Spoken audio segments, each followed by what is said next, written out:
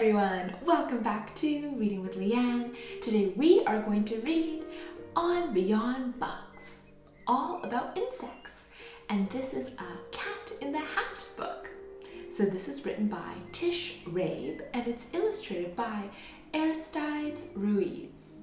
Let's look at the book. So on the cover we have the cat in the hat near a, a beehive. You know that when it's a cat in the hat book like this, we are going to learn lots of fun facts. I'm the cat in the hat, and I'm glad that I found you. Right now, if you look, you'll see insects all around you. They live in the water, the earth, and the sky. Just wait, and you'll soon see an insect go by. There are millions of them. I will show you. I will show some to you. Your mother will not mind at all if I do. The cat in the hat comes with thing one and thing two. Most insects you'll meet have hard shells and lay eggs. They have wings and can fly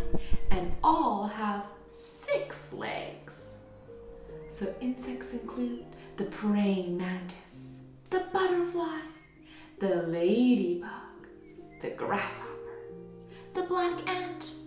But spiders aren't insects. This news couldn't wait. Instead of six legs, every spider has eight. If you look at an insect up close, you will see that its bodies in parts, and each insect has three. First, the head, then the thorax, and here at the end is the longest part, which is called the abdomen. A cricket, head, thorax, abdomen.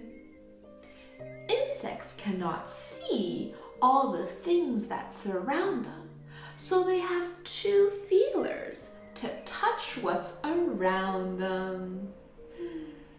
An insect has feelers on top of its head. Some look a lot like a thin piece of thread, while others look much more like feathers instead. We wish we have feelers, but we don't have any. You can call feelers by this name, antennae. antennas, right? Look at the antennas. Or feelers, feathery feelers, thread-like feelers. Watch an insect and see all the things that it does. Some can swim,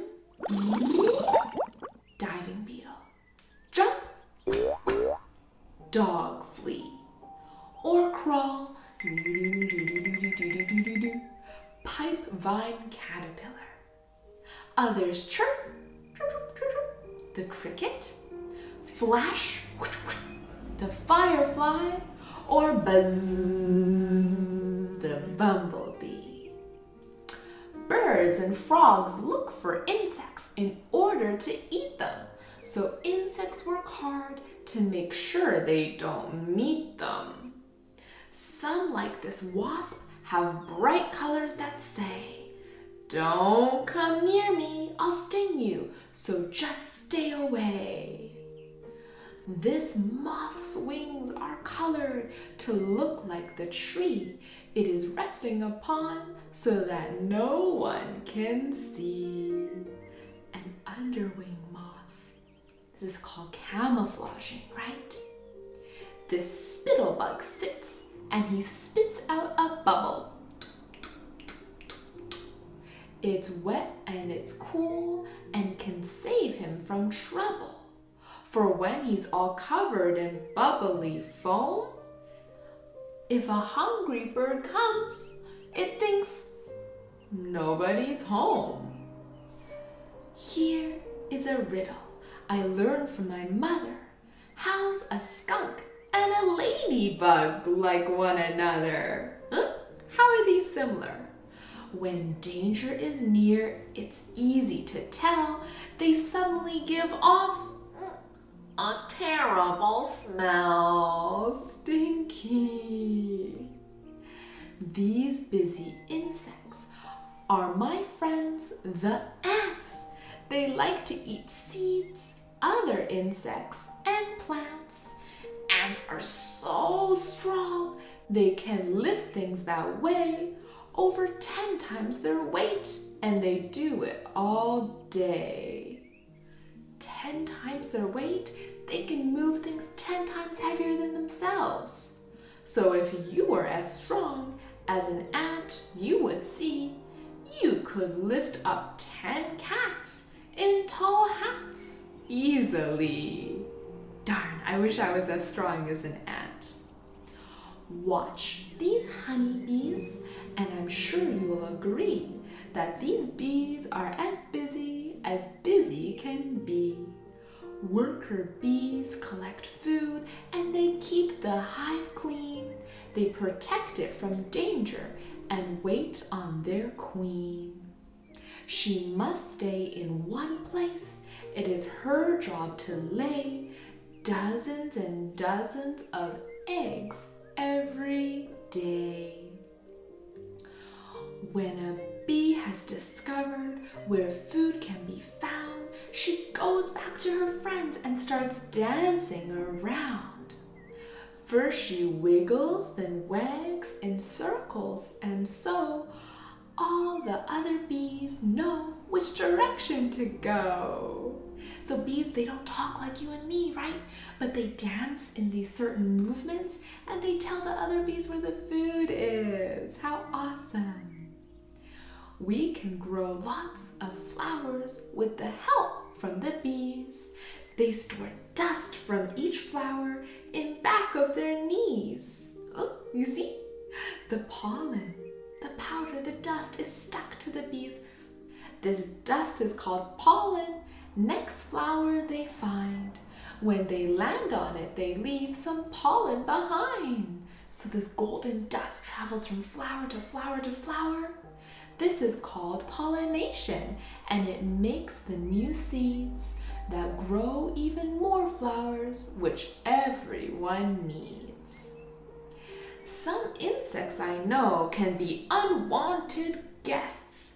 Fleas, flies, and mosquitoes can really be pests. Fleas live on cats, dogs, rats, hamsters, and mice. Their bite is quite itchy, which isn't too nice. But they're wonderful jumpers. Why, if we were fleas, we'd jump over a house and we'd do it with ease. Oh, I wish I was as strong as an ant and as jumpy as a flea. Hmm.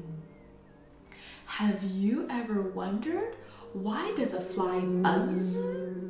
Well, it beats its wings fast and each time that it does, its wings make a sound that you can hear in your ear and this sound lets you know there's a fly flying near. Here's a fact about flies that we both thought was icky. They can walk upside down on your ceiling? Since their feet are so sticky. I don't think mosquitoes are very polite. When they're hungry, they land, and they sting when they bite.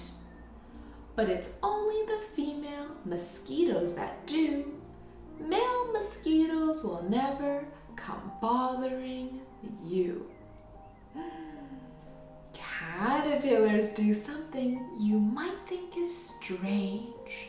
They start out as one thing,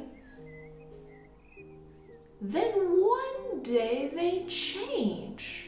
They spin a small house on a branch just like this, and this home that they make is called a chrysalis. If you watch it, you'll see when a few weeks go by, it turns into a beautiful new butterfly. Wow! So, here's a quick fact that we both thought was neat. Butterflies can taste their food with their feet.